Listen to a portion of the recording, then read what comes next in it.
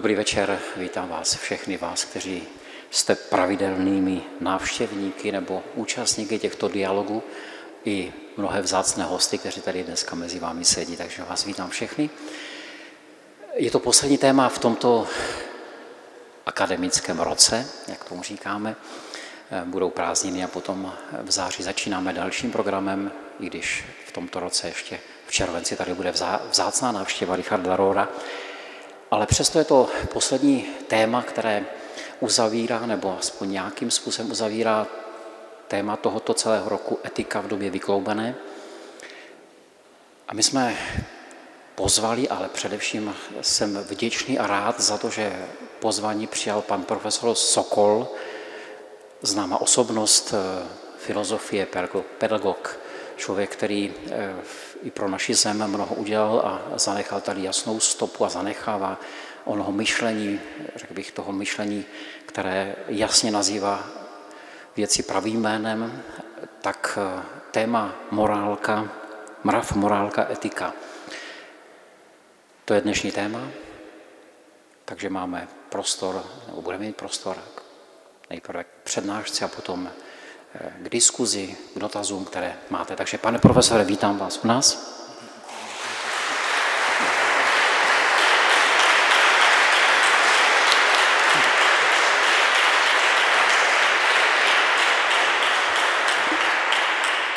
A tímto vám také Když tak až potom. Dobrý, dobrý, já si to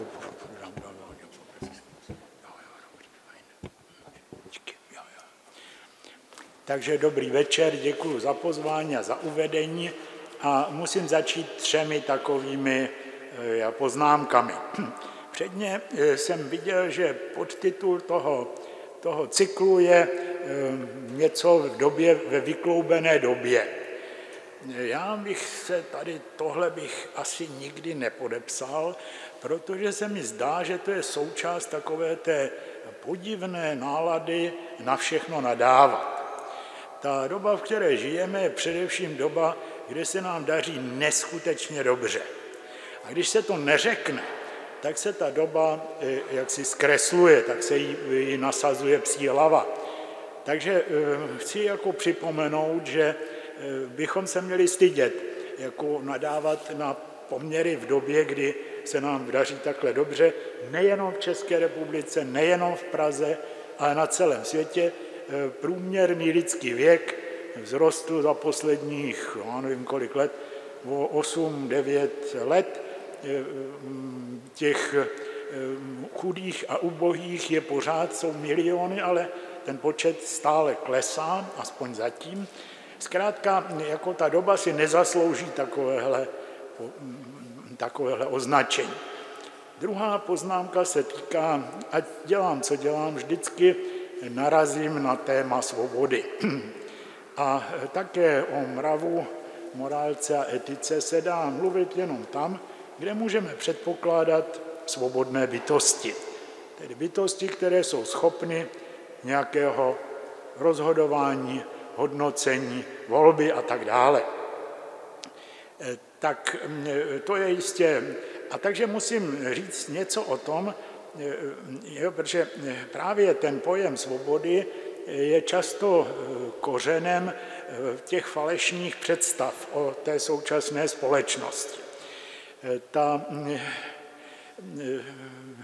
pod svobodou, že tak musím se trošku vobout do svých kolegů, filozof, když má mluvit o svobodě nebo psát o svobodě, tak si dá do pusy tušku a a e, přemýšlí, to znamená, e, přemítá si v hlavě to, co se mu v té hlavě honí. A e, v důsledku toho jednak, jak si, si nevšímá toho, co se mu v té hlavě nehoní, a za druhé, a to je ještě vážnější, vzniká iluze, jako kdyby svoboda byla vlastnost nebo atribut toho jednotlivého člověka. To si myslím, že je jaksi falešná představa, jakkoliv je v té filozofické tradici velmi rozšířená, protože fakticky svoboda je e, vztahová záležitost. E, člověk je vždycky svobodný jenom ve vztahu druhým lidem, k okolnímu světu a tak dále. A nemůže být svobodný sám o sobě. To se ukáže za chvíli, až, až popíšu, až budu mluvit o těch, o těch třech institucích, chcete-li, kterými se ta svoboda řídí. Ta iluze, že svoboda je jakoby moje, můj atribut, že to je něco, co mi patří, jsem svobodný, nejsem svobodný, je ve skutečnosti jaksi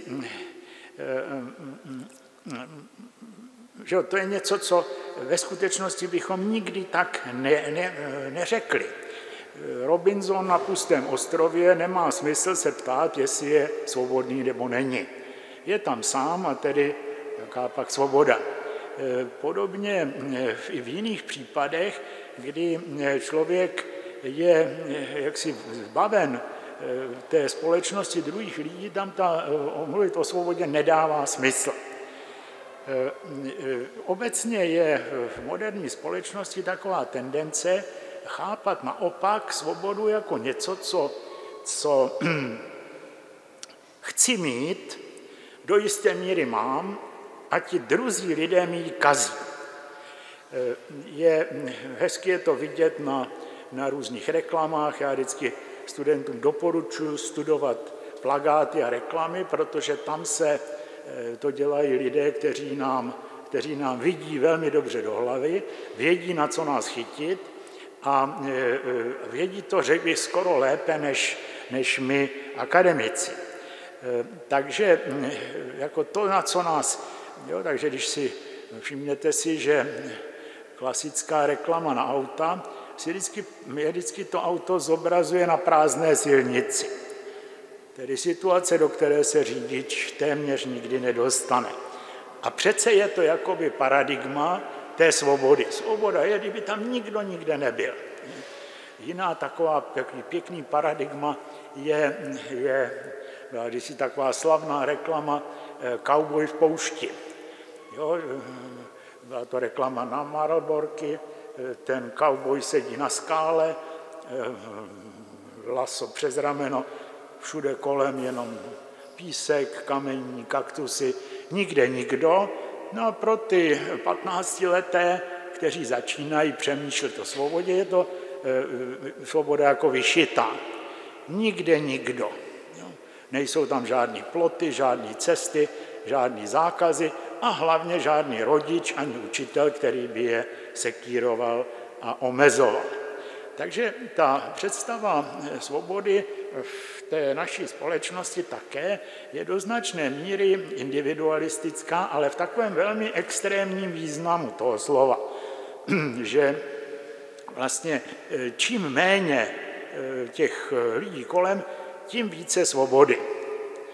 S tím je v ostrém rozporu to, že lidé se s ten obecný útěk do měst, který, který trvá v Evropě už 200 let a ve zbytku světa 50 let, je právě útěkem za svobodou.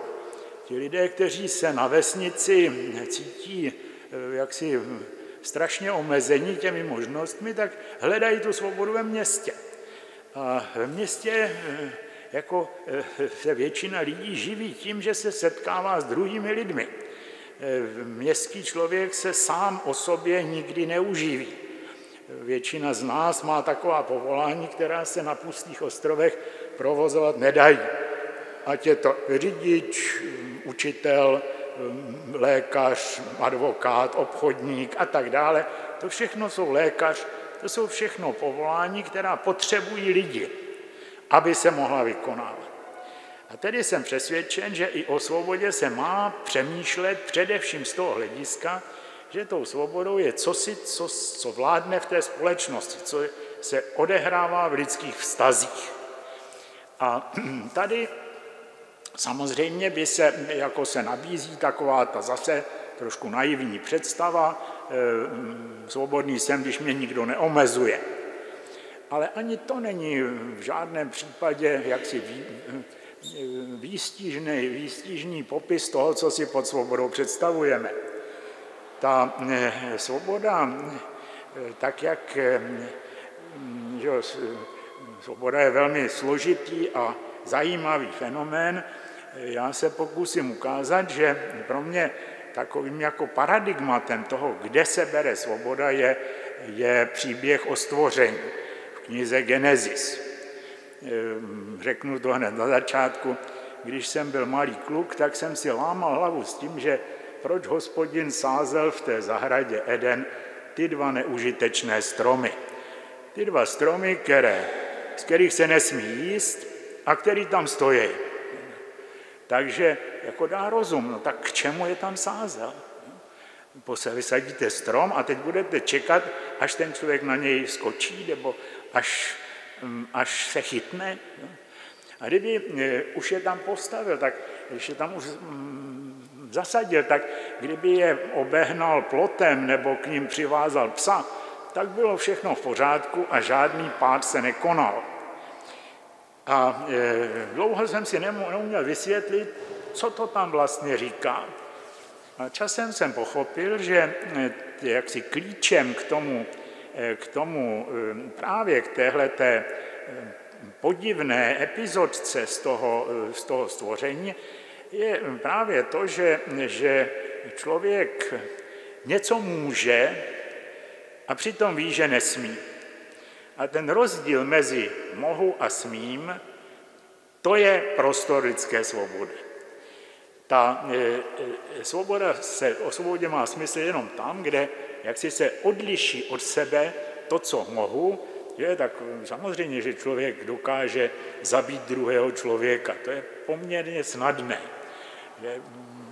A, ale e, přitom jako každý ví, že se to nesmí, a my na to spoléháme do té míry, že chodíme po městě bez zbraně e, e, a spoléháme na to, že ji nebudeme potřebovat.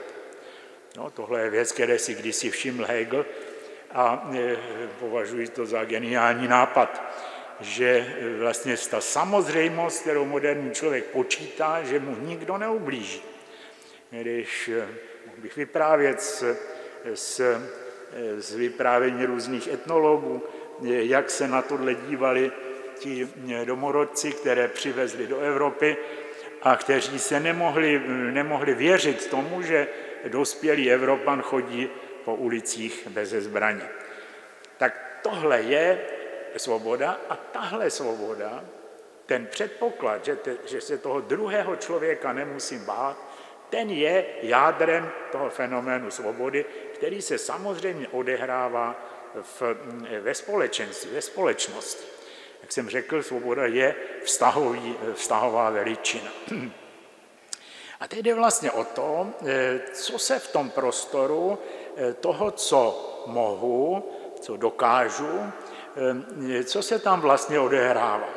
Tam bude nějaká, nějaká část toho prostě možností, která je, řekněme, zakázaná, nebo která je a teď eh, eh, z tohohle hlediska, a teď to, to, eh, ten, ten zákaz, nebo to je na jedné straně pro každého z nás strašně podstatný, neboť na něj pořád spoléháme. A na druhé straně je také, jaksi je ponechán na volné, na volném, víceméně volném rozhodnutí jednotlivých lidí. My nestojíme o to, aby, že jo, tak když samozřejmě, že svobodná společnost je o něco nebezpečnější než ta nesvobodná. Když je každý člověk, kdyby byl každý člověk zavřený do klece, aby si nemohli navzájem ublížit, tak by jaksi jim tam jistě nehrozilo to, co hrozí na ulici, ale řekli bychom, že jsou svobodní, sotva kdyby byl každý zavřený v té kleci. Rád cituji jednoho eh, severočeského podnikatele, které se ptali, jak eh, prožil 90. léta a ten člověk bez přípravy řekl, no to bylo jako kdyby se v zoologické zahradě zrušili klece. To je eh, velmi dobrý náhled do toho problému. A to, o čem jsem dneska slíbil mluvit, se vlastně týká právě tohohle z toho jako co, jak to, jak si, jak to, zařiz, jak to lidské společnosti zařizují, nebo jak jsou lidské společnosti zařízené, aby se v nich lidé mohli pohybovat volně, nemuseli mít každý svoji zamřížovanou klec, svůj kotec nebo, nebo něco podobného, a přitom se jeden druhého nemuseli bát. Myslím, že to je nejjednodušší definice svobody, eh, kde člověk jaksi má co největší možnosti, ale jenom takové, které nespůsobí, že se ho ti ostatní začnou bát. Hm. A teď, eh, takže jsme si řekli, že ten, že ten eh, prostor ve společnosti mezi lidmi je, řekněme, více nebo méně prostorem svobody. Teď eh, řeč není o tom, jestli, jestli je tam komunistická cenzura nebo STB nebo něco takového. To jsou, to jsou jiné věci, to jsou otázky politické organizace a tak dále. Ale ten, ten prostor, kde se mohu cítit svobodný, má tyhle dvě nebo tři atributy. Je to prostor, kde se mohu vybírat, kde mohu volit, je, je, je dává mi nějaké možnosti a zároveň je to prostor, kde se druhých lidí nebojím. A e, jak si problémy se svobodou vznikají vždycky tam, kde se e, musíme těch druhých bát. To je nejčastější forma jaksi ohrožení svobody. E, mimochodem řečeno, to je přesně ten citlivý bod, který využívají ti teroristé, kteří vůbec nejsou hloupí a tedy si také nemyslí, že by tu svobodnou společnost zrušili nebo, nebo zlikvidovali nebo nahradili nějakým nějakým, eh, nějakým, eh, nějakou šariou, nikoliv.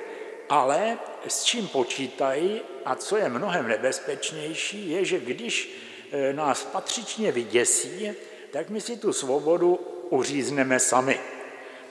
Ta, jo, a všimněte si, jak všechny ty, ty hnutí, které jakoby se zdánlivě tváří, že nás chtějí jak si chránit, že nám chtějí opatřit větší bezpečí, vždycky znamenají, že za to musíme zaplatit nějakým omezením svých svobod.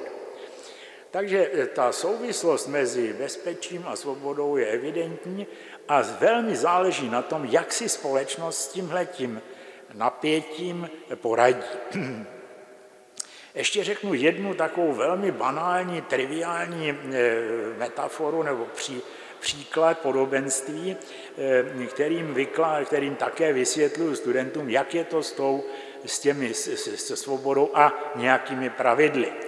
Neboť, jak uvidíme, společnosti, hm, při nejmenším evropské, řeší ten problém tak, že zavádějí nějaká pravidla. Uvidíme později, že jsou nejméně trojího druhu, velmi odlišného, a proto trvám na tom, aby se mezi mravem, morálkou a etikou rozlišoval. Protože, no uvidíme, to uvidíme za chviličku. Ale eh, v každém případě eh, ty, eh, v tom,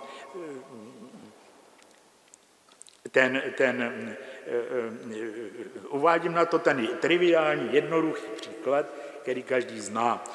Když vyjedete autem na dálnici, tak se vystavujete poměrně značnému nebezpečí. A když mm, vám řeknou, že máte jezdit vpravo, tak to můžete pochopit jako zasahování do vaší svobody. Jenomže když si to eh, opravdu rozmyslíte a nenaletíte na tuhle tu mm, triviální, na tenhle ten triviální chyták, tak eh, přijdete na to, že nebýt tohodle pravidla, tak jenom blázen by se mohl odvážit na dálnici. To podstatné totiž není v tom, že já mám jezdit vpravo, ale když je ta věc dobře zařízená, tak ví téměř každý ostatní jede také vpravo. A já se na to mohu více méně spolehnout. A to je e, nezbytná podmínka, aby normální člověk mohl jezdit autem že spoléhá na to, že ti ostatní eh, dodržují ta pravidla, která dodržuje on sám. Ta, eh, jo, kdyby to tomu takhle nebylo, tak by se na tu silnici mohli odvážet jenom řidiči tanků a parních válců a takovýchhle strojů, protože eh, vy jak si museli počítat s tím, že eh, případný konflikt se řeší skutečně nárazem. A motocyklista nebo normální automobilista je, je samozřejmě vyřízen v tomhle případě. Takže tady vidíte, jak, ten, jak ten, ta dobře vymyšlená pravidla, zdůrazňuji, dobře vymyšlená, ne každá, dobře vymyšlená pravidla jsou, vůbec nejsou omezením té svobody, ale jsou naopak podmínkou té svobody.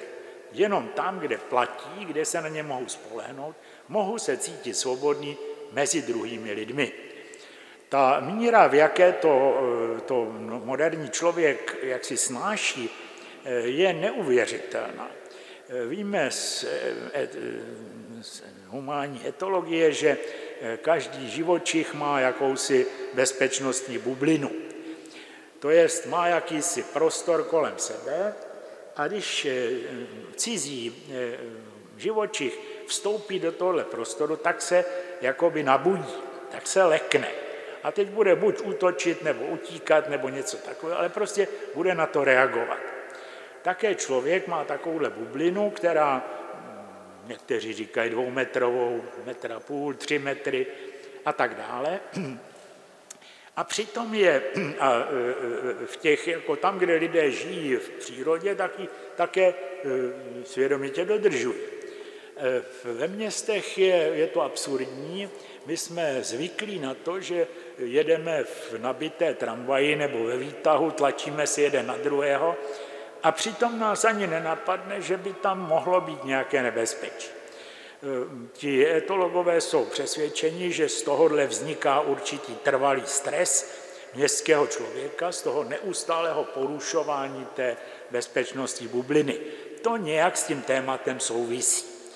Ale v každém případě to, že se člověk vzdává, respektive ve městě musí vzdát tohohle bezpečí, kterému dává prostor, je jako výsledek těch dobře vymyšlených pravidel, kterými se všechny lidské společnosti učí nějak řídit.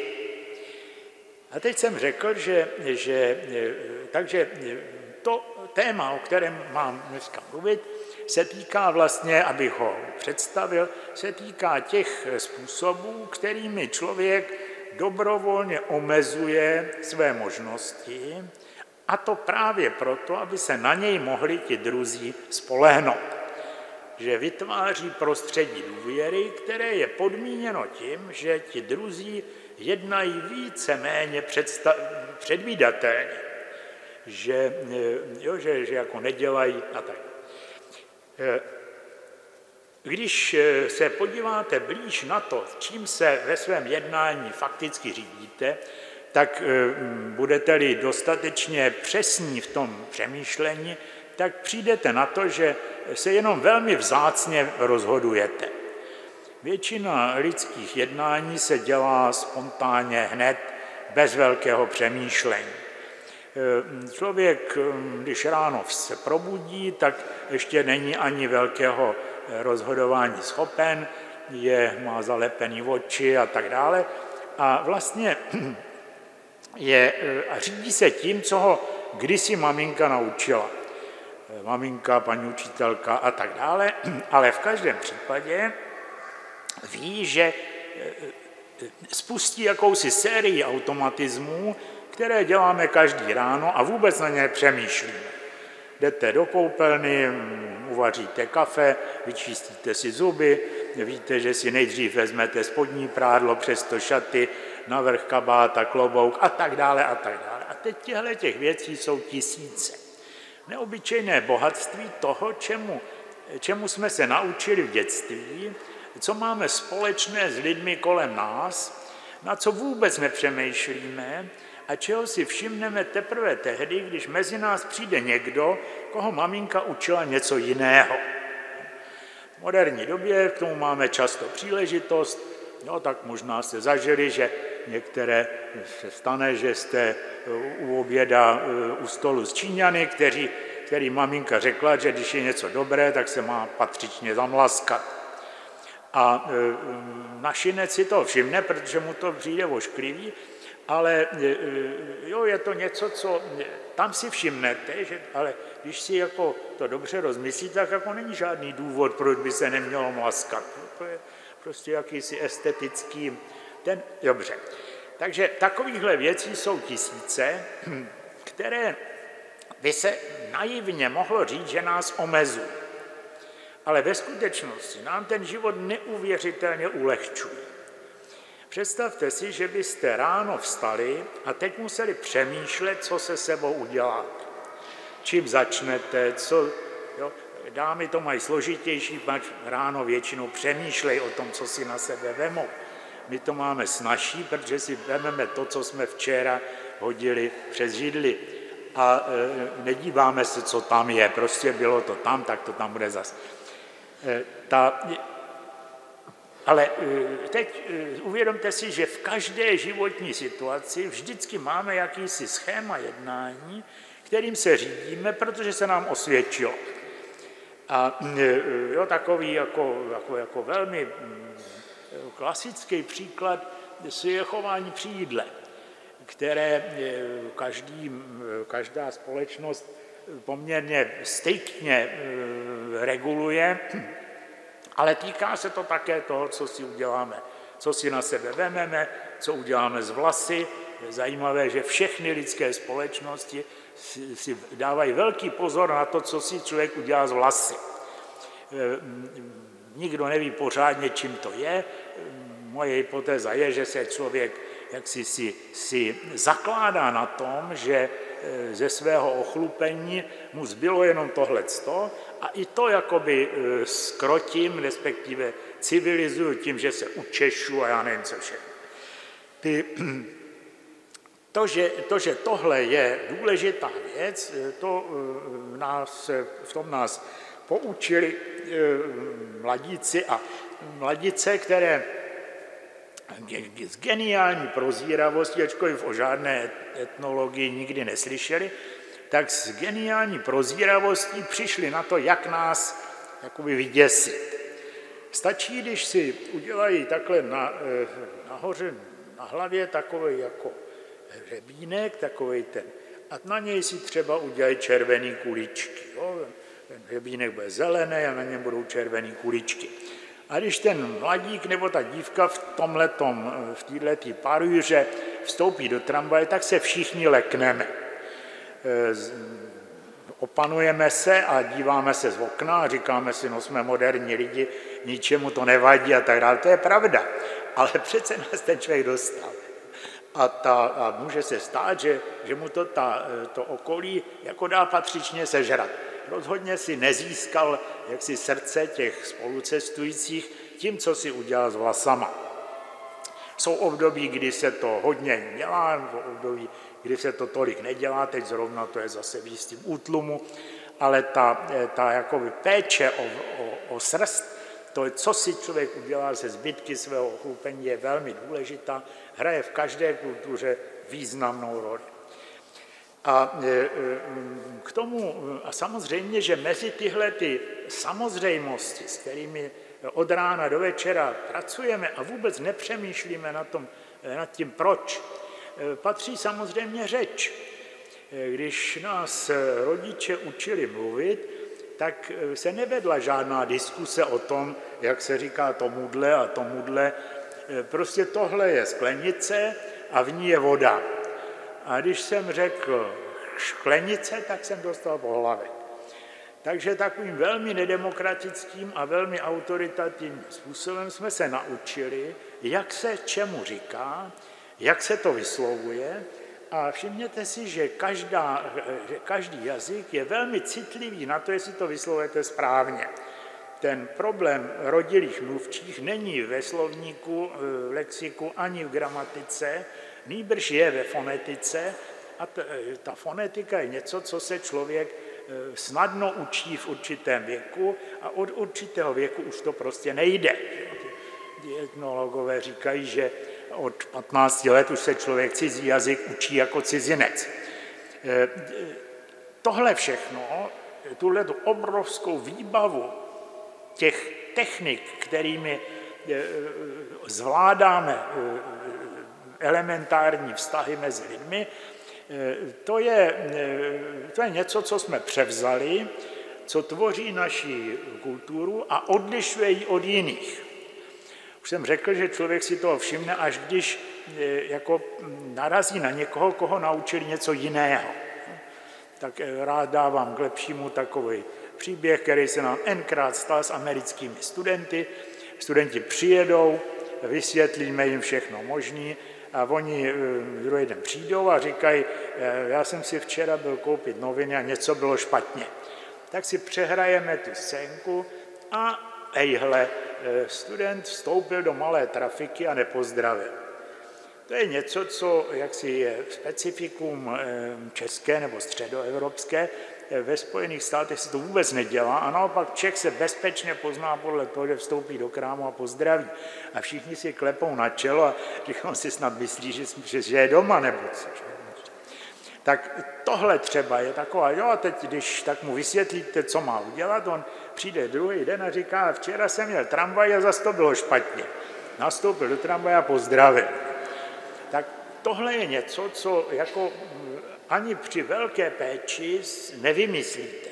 To se musí vyzkoušet a pak je člověk překvapen, kolik je takovýchhle hloupostí, které ale dělají tu jakoby kulturní identitu, to jestli člověk někam patří nebo nepatří. Takže, no a teď tomuhle všemu dohromady, tohle všechno dohromady by se mohlo říct, není přece nic mravního ani nemravního, že to je, to je prostě konformismus a přizpůsobení. Ano, ale e, je to to, co se v těmi slovy, že my máme pro označení těchto fenoménů, o kterých e, mluvím, máme tři slova k dispozici. A sice mrav, morálka a etika. Je důležité, je dobré připomenout, že všechna tři původně znamenají právě tohleto. Ten mrav ten společenský mrav, tedy to, co od nás společnost očekává, co, co nás rodiče jako uvedení do společnosti nadrilují, natrénují, takže o tom vůbec nepřemýšlíme.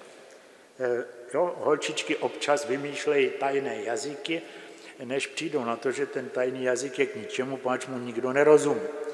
A pochopí, že jazyk je také od toho, že mu někdo musí rozumět. A e, to, že se na něm, jak je ta okolní společnost na tom správném používání jazyka rajtuje, je e, nezbytná podmínka pro to, abychom si mohli rozumět. Kdybychom ponechali ten volný rozvoj e, toho, čemu lingvisté říkají autolekt, to znamená ten specifický, to specifické nářečí, které se používá u nás doma v kuchyni. Že?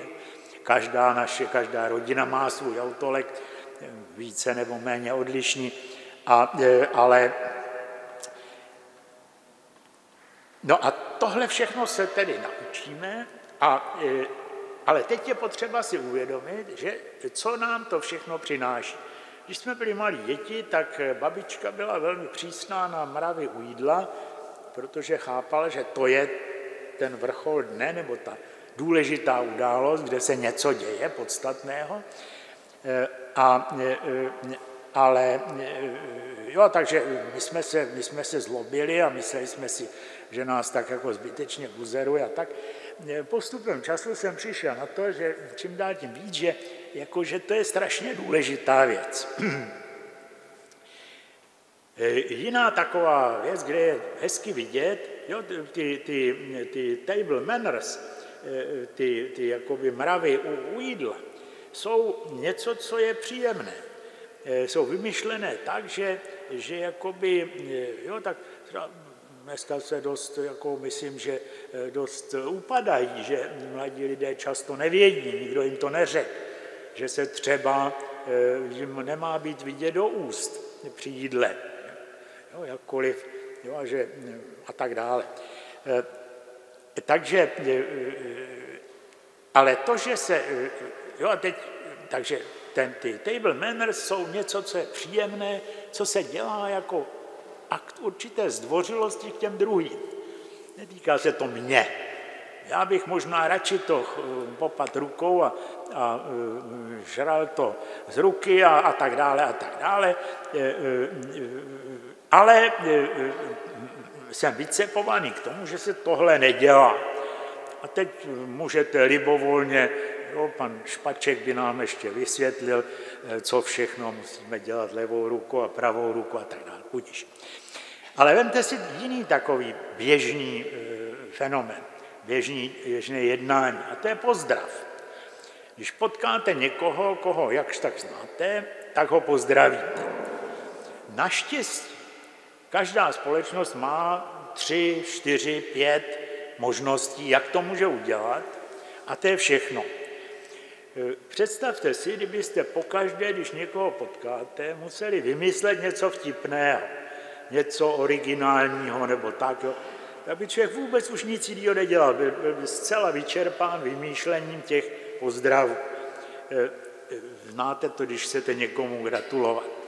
Eh, tak tyhle věci jsme se naučili, víme, že jsou v naší společnosti uznávané, naopak vyžadované, a že tedy fungují, já nevím, jestli ještě dneska existuje povolání sňatkový podvodník. Ale donedávna existovali sňatkoví podvodníci, kteří se vyznačovali tím, že tyhle věci dělali dokonale. Neboť sňatkový podvodník, který by se nechoval dobře, nemá šanci se chytnout. Ten sňatkový podvodník musí být dokonalý v tom, jak všechny, všechny tyhle ty mravy provozuje v dokonalé podobě. Takže je to ta, ta, ta, tím jsem tak jakoby velmi letmo popsal tu první oblast, které z určitých důvodů říkám mrav nebo explicitněji společenský mrav. Je to něco, co máme všichni společné a čím se naše společnost trošku liší od těch sousedních. Ne moc, ale přece. Ta v, už jsem naznačil, že eh, z těch tří slov, která máme k dispozici, to znamená mrav, morálka etika, všechna tři původně znamenají totéž. Totiž právě tenhle ten zvyk, tuhleto přizpůsobení, tu, eh, jo, dokonce jo, tak v, eh, ve staré řečtině se zdá, že ten původní význam je to místo, kam se vrací dobytek, když přijde z pastvy. Jo, dobytek se ráno vyžene na pastu a když, ve, když v poledne se vrací, tak si někam stoupne. A to je jeho étos. To je jeho, no, takže eh, to, že, no, a kdybychom teď chtěli ten, tenhle ten fenomén toho, toho mravu nějak jakoby, jako správní evropští racionalisté nějak popsat, definovat, tak by se asi dalo říct, že eh, to znamená Eh, to, co se u nás dělá a nedělá. Co dělají všichni, víceméně všichni ti, ti vychovaní, naše paní učitelka říkala, no dělej to jako ostatní, no ne Pepíček, to je darebák, ale má, Mánička, to je. Tak je to něco, čím se přizpůsobujeme tomu svému okolí a tím získáváme ohromné benefity. Tedy především to, že jak si na první pohled budíme jakousi důvěru, která samozřejmě může být předstíraná jako u toho sňatkového podvodníka, ale přece zavádí jakýsi vztah, který není, eh, který není lhostejný, se něco odehraje. A eh, takže jako eh, mrav znamená to, co se u nás dělá a nedělá. Čtenáři Heideggera vědí, že v zájmu Zeit Heidegger vykonal eh, ostrý útok na tuhle věc. Das Mann eh, strašně si z toho vystřeluje. Hrozně by mě zajímalo, jak by se tvářil, kdyby si přišel sednout do hospody a jeho soused dal nohy na stůl. Tak by najednou Das Mann by se ukázalo být jako něco velmi důležitého, ale tak daleko jeho jaksi hluboké, hlubokomyslné přemýšlení nesahalo. To ovšem neznám. Tohle je tedy věc, která, která nás provází od rána do večera. V, v každou, pro každou běžnou životní situaci máme jakousi, jakýsi, jakýsi mustr, jakýsi schéma, jakési řešení, ale to neznamená, že si ta společnost s tímhletím vystačí. Eh, pokročilejší nebo řekněme vyspělejší, individualizovanější společnosti eh, přijdou na to, že dříve nebo později se vyskytne situace, kdy člověk musí naopak jednat proti tomu, co dělají všichni ostatní. Ten eh, klasický příklad je Sokrates před soudem.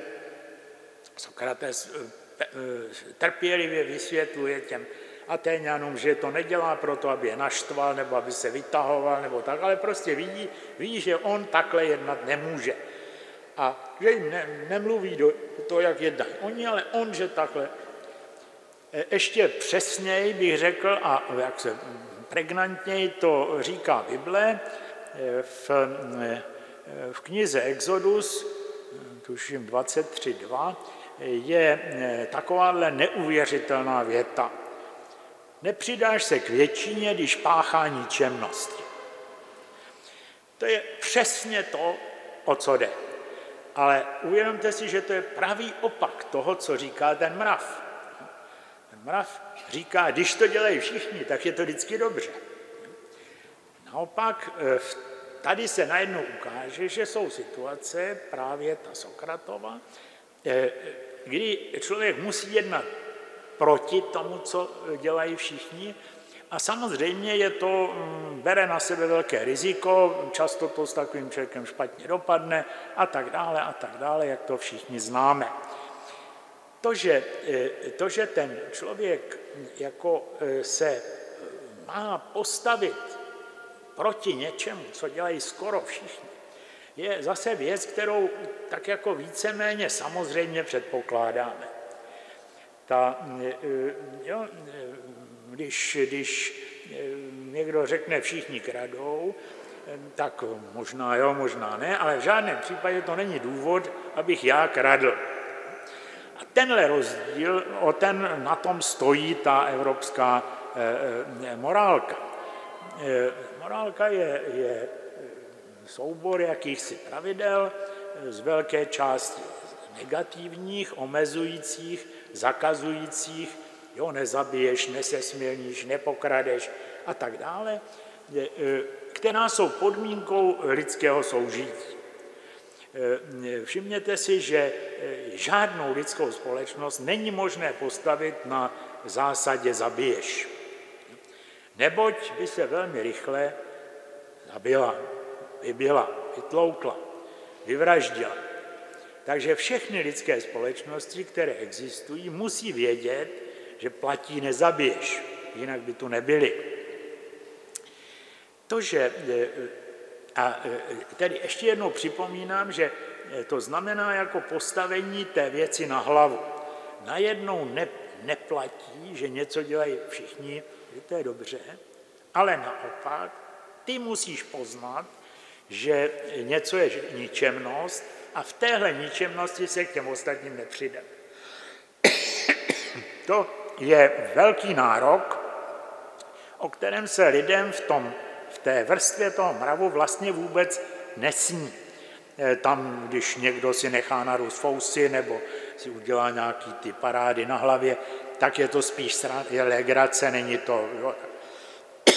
Ale najednou v té, v, té, v, tom, v té morálce ten člověk, eh, jako, i když eh, jako ten Sokrates, jako, jako si dává zatraceně pozor, aby mu nemohli říct, že on, je, že on se vytahuje a že je, že je pražská kavárna a já nevím co všechno, tak právě proto, že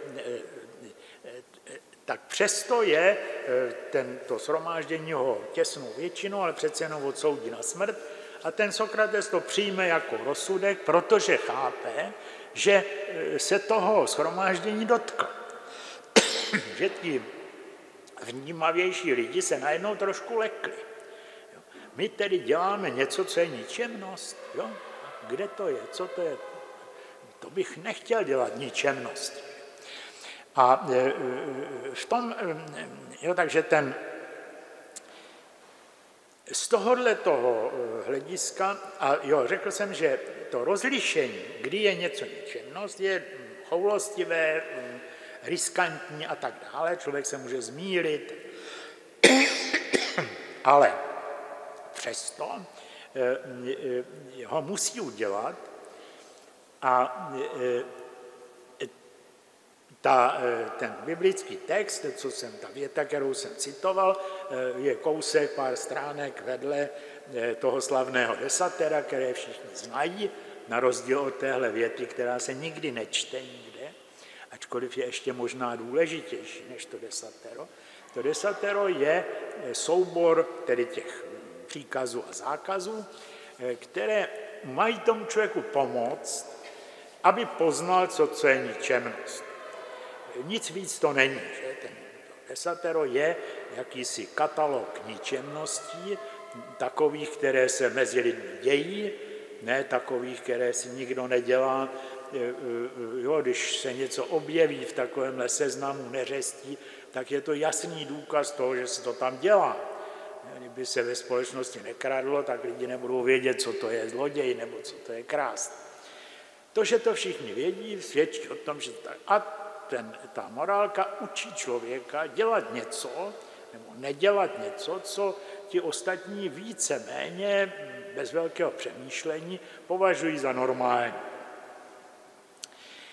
Ta morálka je, je jakoby ohniskem nebo takovým místem, kam se soustředuje pozornost moralistů.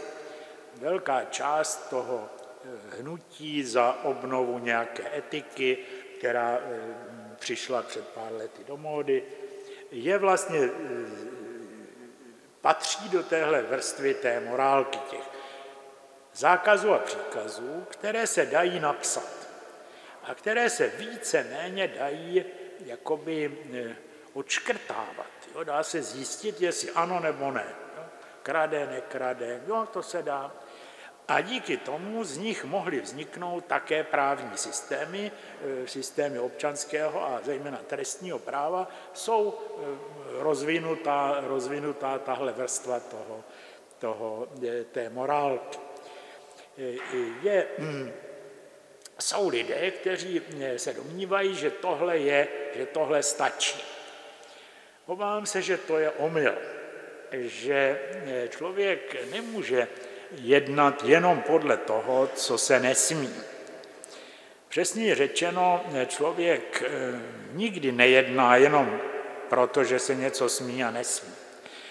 Člověk jedná proto, že něco chce. A eh, ta cesta k tomu, co chce, může být eh, dovolená nebo nedovolená. To, že jo, zase, když se vrá, když připomenu ten příklad člověka na dálnici, tak ten člověk nejede, i ten nejvzornější řidič nejede do, po dálnici proto, aby dodržoval předpisy, ale proto, aby se dostal do Pardubic nebo do Brna nebo kam, kde něco potřebuje vyřídit. A ta, ta pravidla, která přitom dodržuje, jsou jakási podmínka, jsou jakási, jakási, jakási vedlejší Eh, vedlejší eh, podmínka, aby se mu to povedlo. Protože když eh, každý předpokládá, když budu dodržovat pravidla, mám menší šanci, že se vybourám. Mám větší šanci, že dojedu tam, kam chci. Ale to, proč to jednání podnikám, to není dodržování předpisu. To je nějaký cíl. A tohle je tedy ta třetí vrstva, která zase vypadá úplně jinak než ty první dvě. To rozlišení jsem převzal od Paula Rikera, eh, považuji za velmi užitečné, protože eh, na rozdíl od té morálky, která se dá více-méně popsat pravidly a dokonce trestním zákonníkem, tak eh, ta volba cílů, to, to směřování k nějakým cílům, výběr nějakých cílů se popsat nedá. Neexistuje žádný obecný předpis, jak to má být. Každý člověk si tuhle cestu, ty své cíle musí nějak vybírat sám, musí si je před sebou, případně před druhými nějak umět obhájit. A jaksi smutný pohled na lidi, kteří se k tomuhle nikdy neodhodlali, kteří žádné cíle si nekladou a tedy žijí jakýsi podivně, no, podivně neplodný život. Tak ta, téhle té třetí rovině, tomu Aristoteles říká hledání lepšího a nejlepšího. A to je, myslím, docela přesné označení toho, o co jde, že člověk je na světě nejenom proto, aby se přizpůsobil, aby, aby se česal a, a obědval a, a oblékal se tak jako ostatní, nejenom proto, aby nezabíjel a nekradl, ale také ještě proto, aby něco udělal, o něco se snažil, o něco e, usiloval, nebo něčemu se bránil. Zkrátka, aby tu svoji životní energii někam investoval podle svého. A teď, jestli se mu to povede nebo nepovede, je určité, řekněme, podnikatelské riziko, může se stát, že se splete, že a tak dále a tak dále, to je přirozené.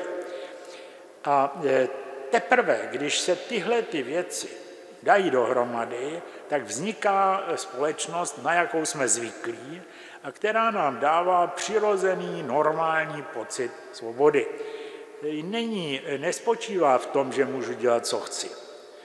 Naopak, eh, jo, když zůstaneme u toho, že ta svoboda se odehrává ve společnosti, tak kdyby to mělo znamenat, že všichni ostatní si budou dělat také, co, chci, co chtějí, no tak se, by se tam nedalo žít. Že? Tady, vy tady předvádíte extrémní příklad téhleté schopnosti se omezit ehm, necháte mě mluvit a vy mlčíte, že?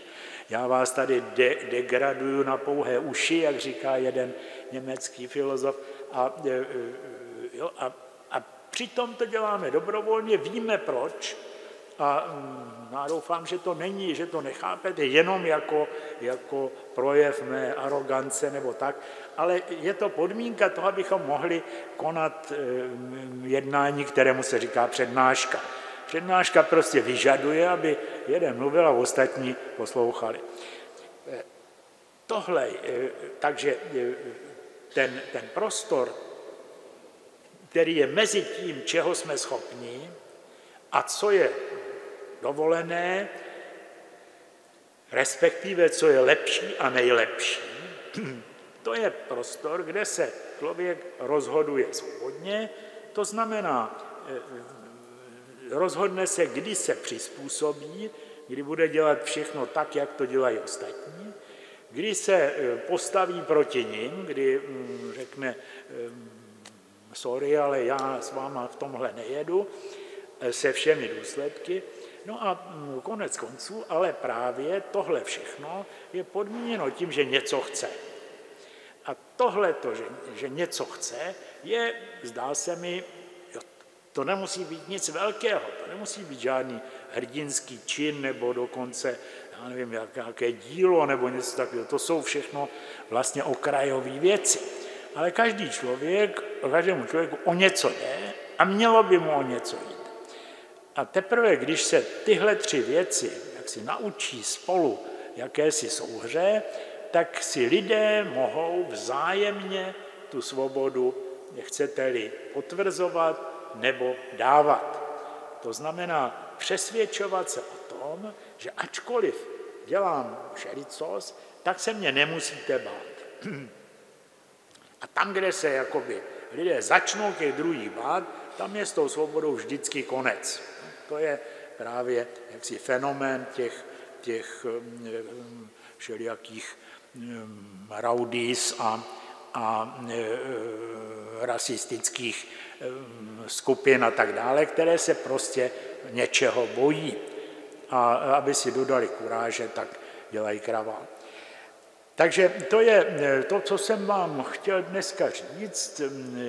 Těším se na to, na vaše otázky a případně námitky nebo, nebo doplňky.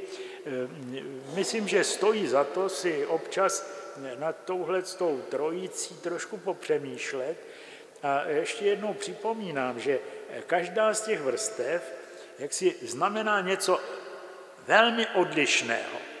To přizpůsobení je něco úplně jiného než ten postoj Sokratův a ten postoj eh, morální, to je nezabiju, nekradu, nelžu, ještě vůbec neznamená, že člověk žije plný lidský život. Plný lidský život je vždycky život, kde o něco jde a člověk se něčemu, řekněme, věnuje. No a e, ještě jednou připomenu, že e, jsem přesvědčen, že tohle je založeno e, geniálním způsobem právě v tom příběhu o zahradě Eden, který se hloupě vysvětluje vším možným a ve skutečnosti právě ukazuje to, co je, co, co jakoby tvoří lidskou svobodu. Ty možnosti, které se kterým se nebrání tím, že by se postavili mříže nebo hradby nebo zdi, ale tím, že se řekne, tohle dělat nebudeš. No, nebudeš. Jo? Takže jako samozřejmě, že se nejedná o stromy a nejedná se o jabka a tak dále, ale to, že člověk je schopen jak si e, regulovat vlastní jednání s ohledem na ty druhé, s ohledem na to, aby je ne, nestrašil, aby je neděsil, eh, tak to je podmínka každé, zdá se mi, eh, svobodné lidské společnosti. Tak, děkuji vám za pozornost a těším se na vaše poznámky.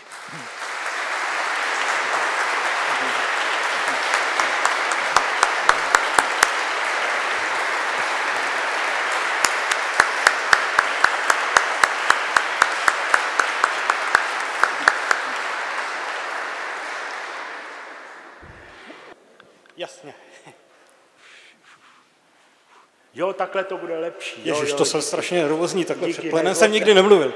Já jsem říkal, eh, vlastně, to je v pořádku, já jsem vlastně eh, říkal, že, jak, nebo jste říkal vy, že existují tři vlastně ty vrstvy. Jedna je morálka, jedna je teda zvyk, mrav, druhá je nějaká morálka a pak je etika. Ano. Samozřejmě ty eh, jednotlivý entity nejsou nějakým způsobem pevný a člověk se musí v rámci nich nějak pohybovat. A co je tou vazební takovou částicí, takovým gluonem, když to řeknu fyzicky, která nás udržuje v těch mezích? Ta lidská vlastnost, která nás umožní udržet v rámci té etiky. To znamená, eh, já to beru jako spíš příspěvek do diskuze, jestli to je v podstatě spupnost, která mě vzdaluje od toho, co je mravné a morální, anebo nějaká schopnost sebereflexe a pokory, která je i formulovaná v podstatě v katolickém hned na začátku, která mi umožňuje přiznat si vlastní omyl a hledání a umožní mi vlastně to hledání cesty. On o tom je podle mýho přesvědčení i docela podstata Husového procesu. Tam asi eh, vlastně byl takový mrav, že eh, v katolickém kléru bylo zvykem, bylo mravem něco, co nebylo morálního. Na tom byl vlastně schoda jak mezi Janem Husem, tak arcibiskupem s Janem Einsteinem. Ale když potom došlo na koncil Kostnický, tak tam došlo k něčemu, že Hus si stál za svou pravdou a nedohledl do toho konce, že vlastně tím boří nějaký řád na tom, na kterým vlastně ten svět stojí. Takže jo. Eh, já akorát je... tohle to, myslím, bylo důležité zmínit, protože jak se udržet v těch mezích rozumí. Ano, ano. Děkuji, děkuji moc krát za tu, za, za tu poznámku. Eh, eh, helejte, to je tak, že jednu věc tam myslím, jako, že je omyl. A to, že jsou to mantinely. O mantinelech se dá mluvit v tom mravu, možná, a určitě v té morálce. Je jakýsi mantinel, řekněme, nepokradeš, nebo tak to je jakýsi mantinel. Ale to, čím se člověk řídí v tom hledání nejlepší, lepšího a nejlepšího, tam žádné mantinely nejsou. A dokonce jsou, eh, ten člověk jistě jako v tom jednání udělá dobře, když se bude snažit eh, zároveň jednat mravně a, a ne, morálně, ale eh, všimněte si, že v evangelích se často se objevují případy, kdy eh, jako, jo, je, taková ta, je takový ten skandální příběh o nepoctivém správci. kterýmu se kazatelé rádi vyhýbají, který jako popisuje to, čemu dnes říkáme tunelování, a končí tou skandální větou, že pán Ježíš toho člověka pochválil. Je otázka, za co ho pochválil a tak dále, ale je důležité to, že, že pro, právě v, v Ježíšových podobenstvích se často vyskytují případy, kdy to pravidlo není to správné, kdy to pravidlo nestačí, kdy se naopak, jo, kdy naopak je potřeba jako možná i trošku z toho pravidla vybočit a to s odvoláním na to, o co jde. Za čím jdeme, co, na čem nám záleží, co chceme a tak dále. Takže jako, já neříkám, že by, člověk, že by člověka nějaké vznešené cíle zbavovali povinnosti dodržovat morální pravidla, ale považuji za nesmírně důležité, uvědomit si, že lidské jednání není řízeno pouze pravidly a mantinely.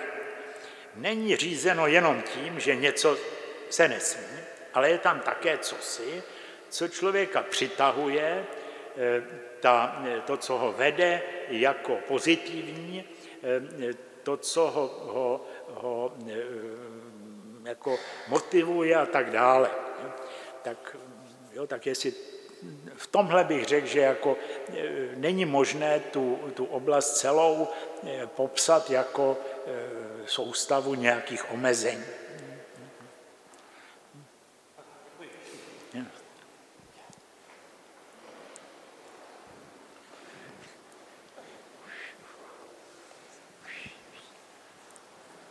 Dobrý večer. Prvá otázka. Eh, čo sa týka mravu, morálky a etiky, je taký náhľad eh, z istého pohľadu, že etika je skôr vedný odbor, ktorý skúma morálku, teda správanie sa, a mrav, povedzme, je možno norma, sociálna rola, čiže ak by ste mohli o tomto niečo povedať. A druhá vec, existuje názor, že donedávna prevládal, eh, zjednoduším to,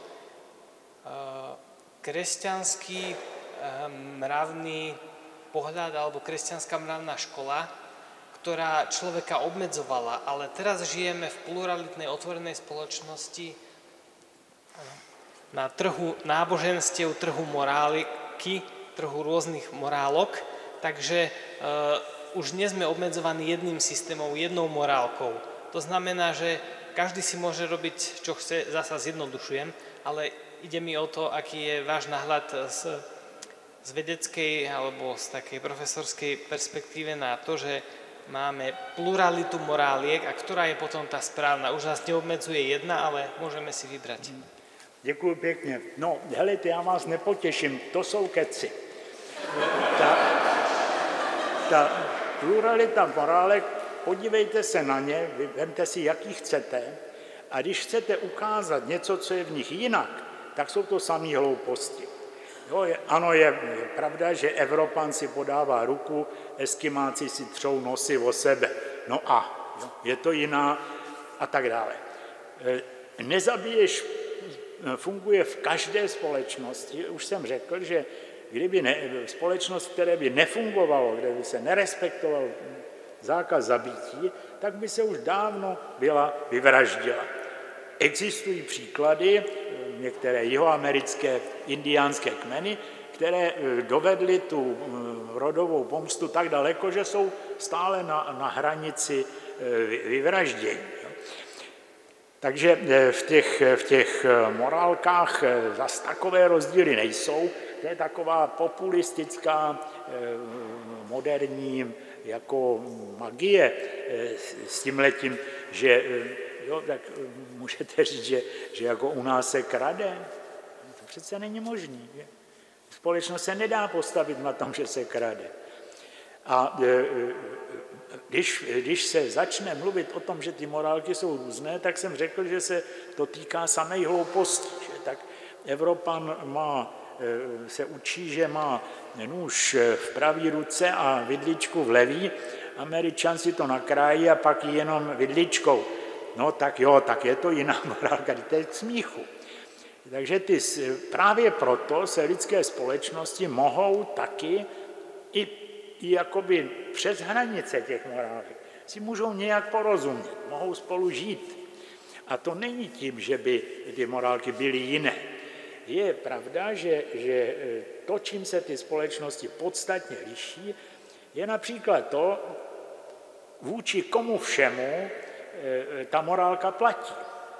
Jo, to je eh, dobré, dobře vidět i v Biblii, že hm, jak si, jo, tak eh, Bible je v tomhle opatrná, ale najdete tam místa, kde je něco dovoleno vůči, vůči, vůči cizincům a zakázáno vůči židům.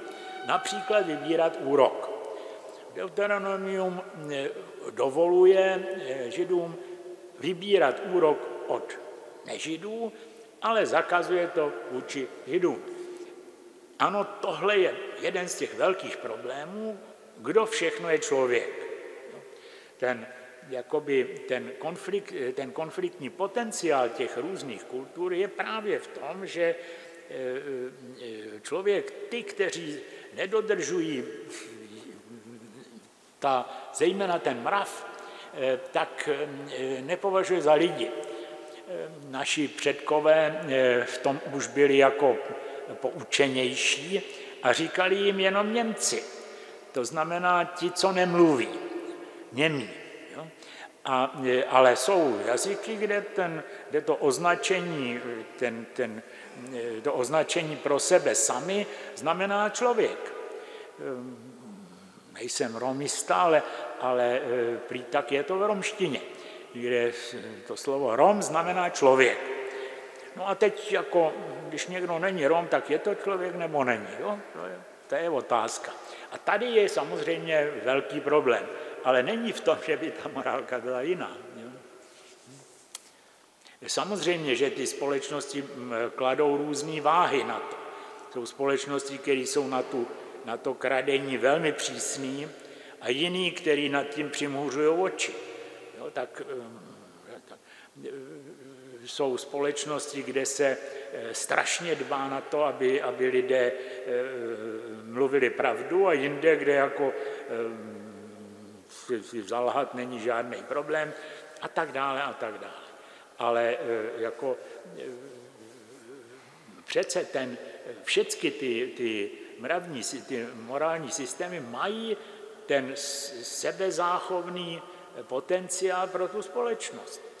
To, že, to, že jo, desatero je úžasná věc, právě proto, že shrnuje všechno to, čím se ta společnost udržuje, udržuje pohromadě. Včetně závisti a takových věcí, které se, které se dnes, jaksi, které se nedostali, ne, nedají dát do práva, Nemůžete mít paragraf, že když někdo někomu závidí, tak ho zavřeme na 14 dní, to by nešlo. A tak, takže ten, ten jo, takže právě třeba závist se dnes nechápe vůbec jako, jako ani se o ní moc nemluví. Že? Ačkoliv nás všecky strašlivým způsobem pro nás sleduje, pořád někomu něco závidíme. Že? Jo, tak jestli je to jakž tak té vaší otázce.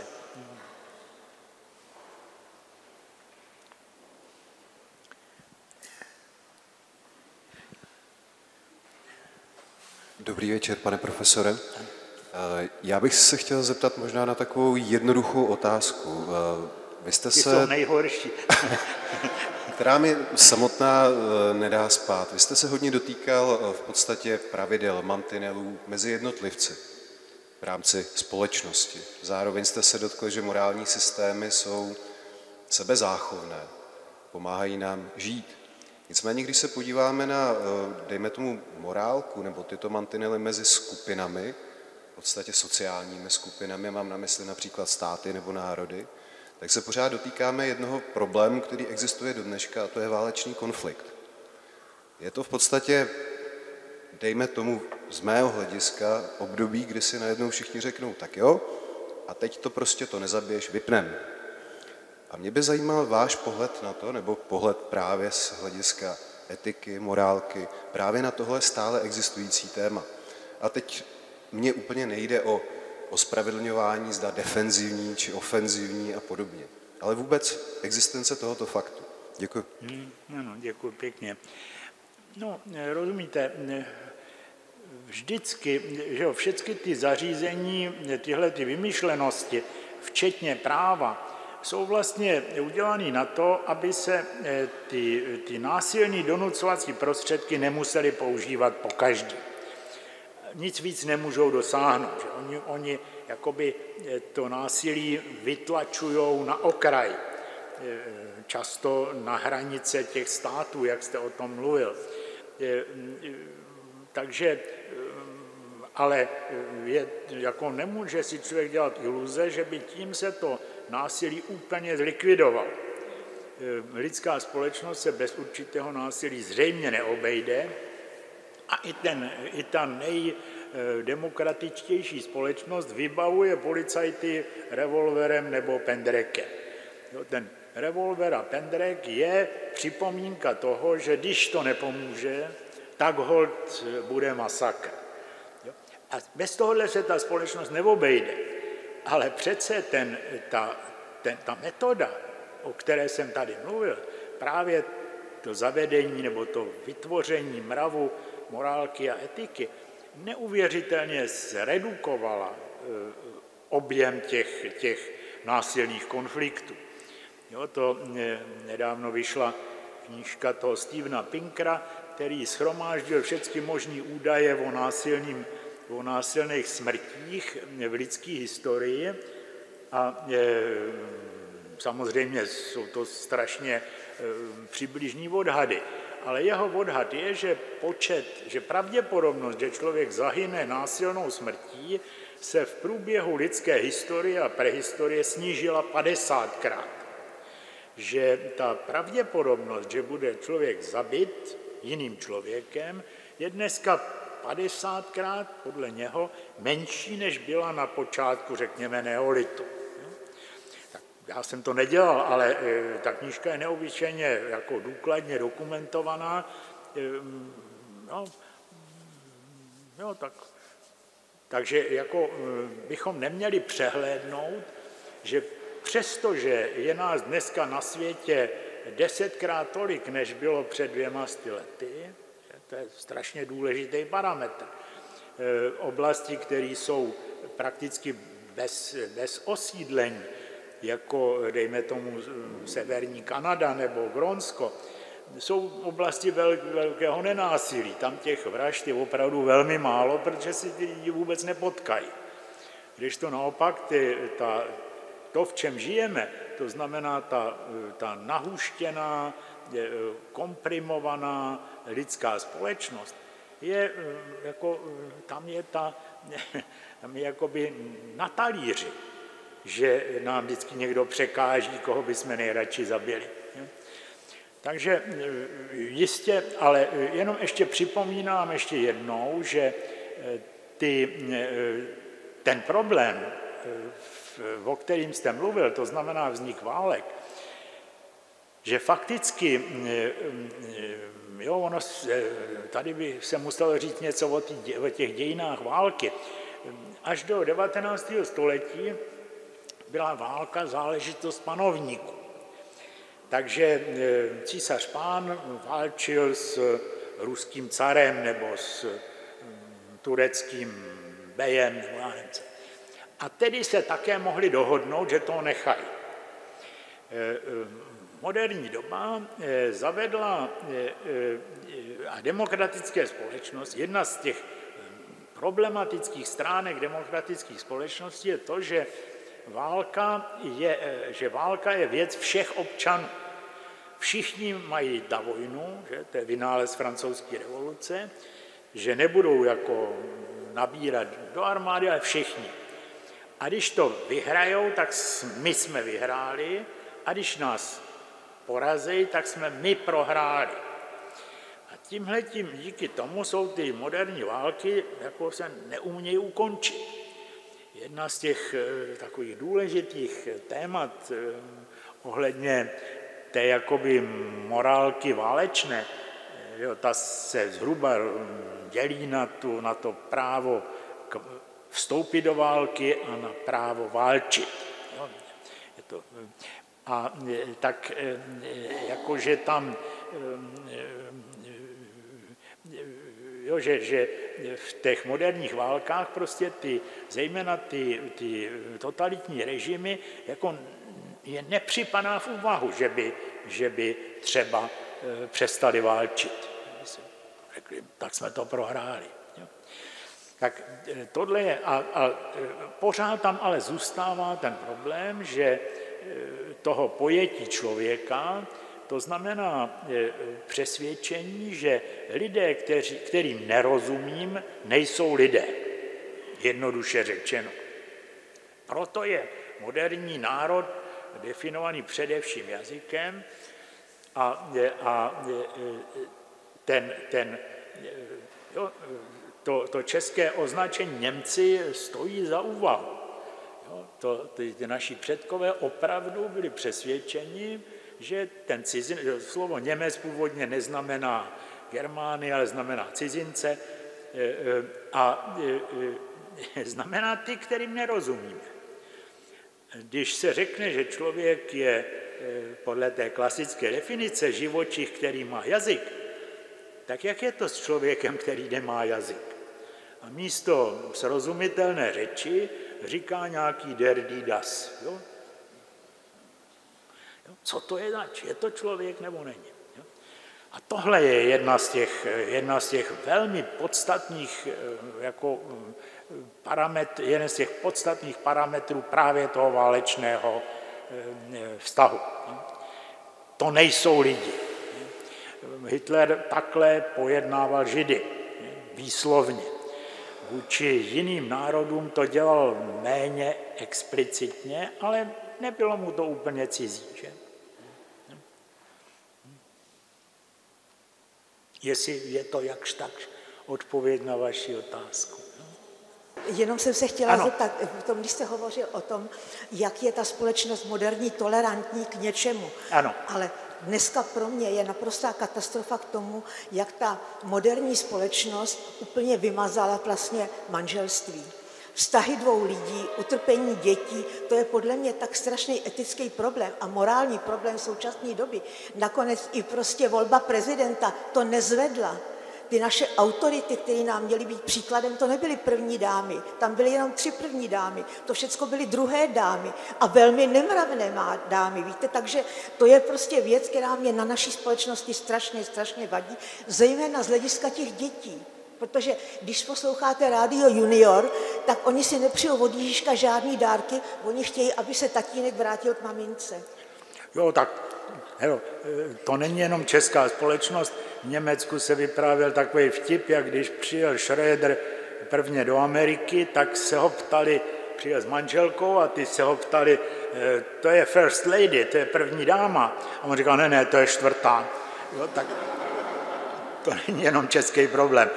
Helejte, tady ovšem, jako abychom e, tomu, e, těm našim současníkům nekřivdili, tak si musíme říct, v jakých souřadnicích to manželství stojí.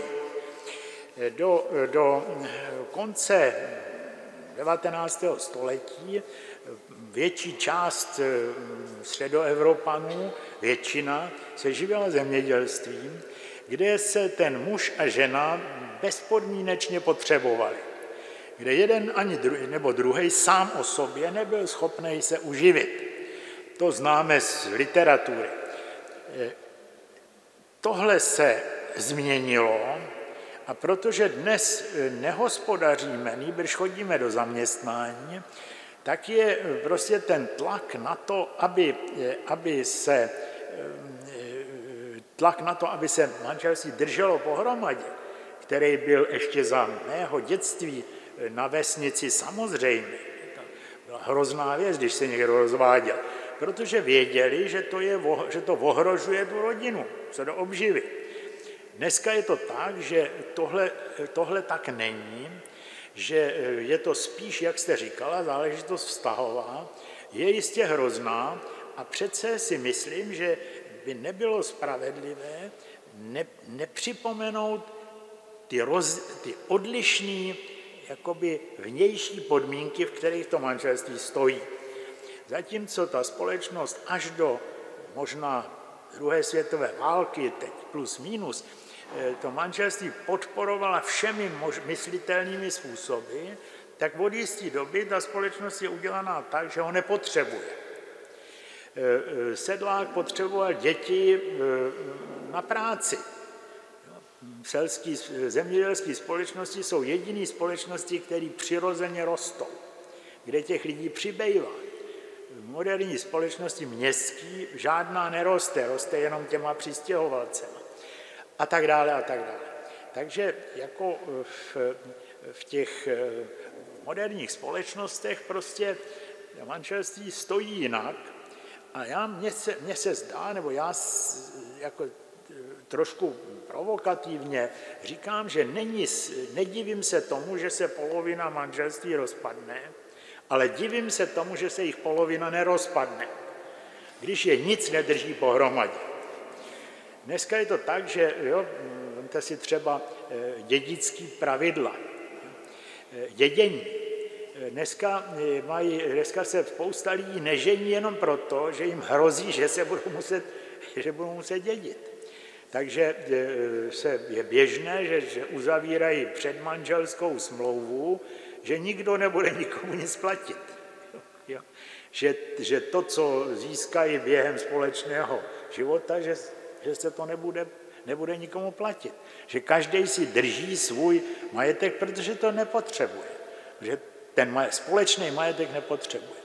Takže myslím si, že ten, jako já s váma vřele souhlasím, vidím to velmi blízko, mám to v rodině a tak dále, ty, ty roz, roz, rozpadlý manželství jsou problém, ale není to ten hlavní, po mém soudu, a hlavně eh, bychom eh, si měli dát pozor na to, že jestli chceme jako, jako, jako, jako mentorovat, anebo něčemu rozumět.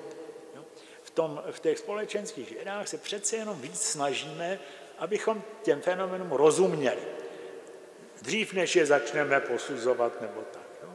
Takže mm, no, tak se nezlobte, že, ale myslím si, že, že jako eh, se to takhle eh, jedno, že to je trošku jednostranný ten pohled, který jste, který jste říkala.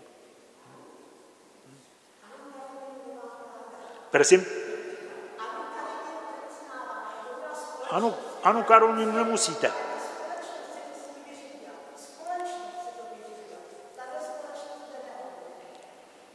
No, jo, jo. Já říkám, jenže eh, Anna Karenina ještě jako žila ve společnosti, která byla zvyklá, že se to nesmí. Ale za sto let, vemte si, co se tady všechno stalo. Že? Ženy začaly chodit do práce za první světové války. Jo? To je, strašně, to je strašný zásah do toho, do té struktury toho manželství. Teď neříkám, že by to bylo špatně nebo tak, ale je to obrovský zásah a ta, to manželství má jiný, stojí v jiném prostředí než eh, v 19. století. Máme tady poslední dotaz. Prosím?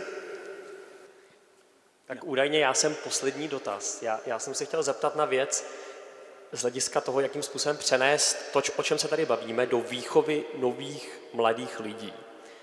Eh, já se omlouvám, možná to bude trošku sobecký dotaz, ale třeba to bude zajímat i vás všechny. Já jsem jmenuji Vojtěch Svoboda, před 15 lety jsem opustil bránu Fakulty humanitních studií, teoreticky připraven na výchovu mladých dětí. Dnes mám dva dospívající syny a věnuji se 120 dětem v basketbalovém klubu. A to, co mě zejména zajímá, že mi u těch dětí, nebo 15-letých jedinců, chybí stanovení toho cíle, obětování maximální energie pro jeho dosažení a finálně i odpovědnost za to, když toho cíle nedosáhnou.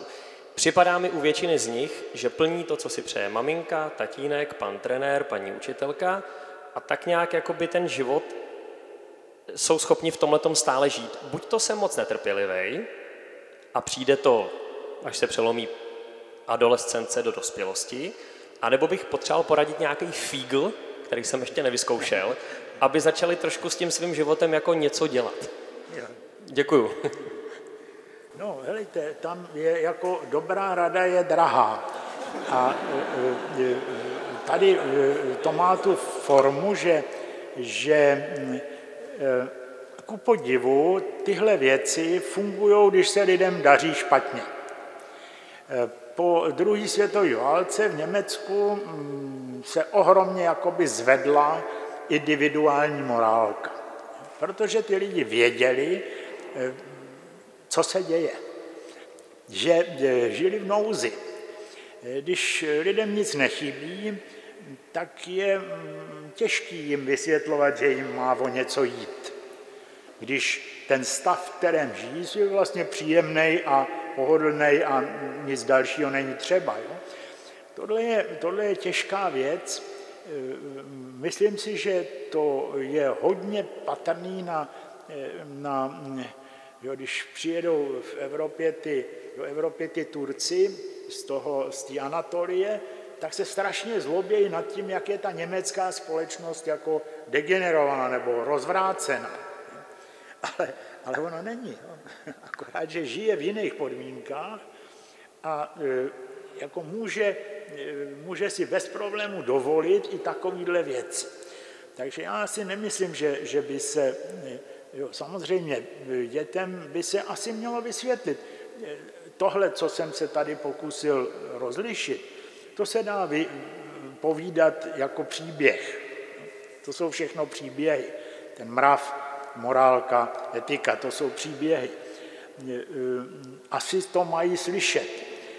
Já jsem si vždycky kladl za cíl, aby se aspoň Eh, ty student slyšel, že něco takového je, že, že existuje něco jako spravedlnost, že existuje něco jako, jako eh, morálka, že, ale že eh, zároveň taky ta morálka není všecko, že se společ, dobrá společnost nemůže vzniknout jenom tím, že se určitý věci zakážou. Tam musí být, tam musí být vždycky nějaký pozitivní vztah, jo, tak potěšilo mě, když, když kolega, kolega v té, napsal knížku o sociálním poutu, a kde, kde jako vysvětluje, že, že dobrá společnost závisí na tom, že lidi se navzájem chtějí, že mají jakoby k sobě pozitivní vztah. A to se nedá nahradit pravidly. A ta, ta e, společnost potřebuje, jo, a tohle jsou věci, které by asi ty děti měly slyšet. A nejlépe by ji slyšeli na příběhu, nebo, nebo e, a e, samozřejmě zdaleka nejlepší je, když ji vidějí. Jo? Když někde vidějí. Ale jako to není snadný, mm, taky mm, s tím mám své problémy, nechtěl bych tady vystupovat jako někdo, kdo tohle má zmáknutý, ale, ale měl jsem dost příležitostí o tom přemýšlet. A právě to, že, že, jako, že si to lze dovolit, to je strašně podstatná změna. Když jsme byli malí děti, tak na té vesnici se tomu sedláci smáli. A Selka, když se jí řeklo, on se rozvádí, řekl, prosím vás rozvádí, a kdo dá krávám, eh, krávám nažrat? Že? Prostě, to, přece ty, ty dva se nutně potřebují, ne, ne, neobejdou se jeden bez druhého. Tovární dělník nikoho takového nepotřebuje. Že? Dneska nemáme moc dělníků, ale prostě zaměstnanec se živí sám, eh, Jo, to je důvod například, proč roste ten počet těch singles, jo, který pro jistotu se do ničeho nezavážou, aby se nemuseli a tak dále a tak dále. Jo. Tak to jsou věci, který, s kterými asi nikdo neví rady, ale asi si nikdo nepřejeme, aby se napravili tím, že přijde nějaký strašný malér. Jo. Ačkoliv je velmi pravděpodobné, že ten strašný malér by to jako udělal. Že? Ten by asi způsobil, že se lidi zase budou potřebovat. Tak, ale to, jo.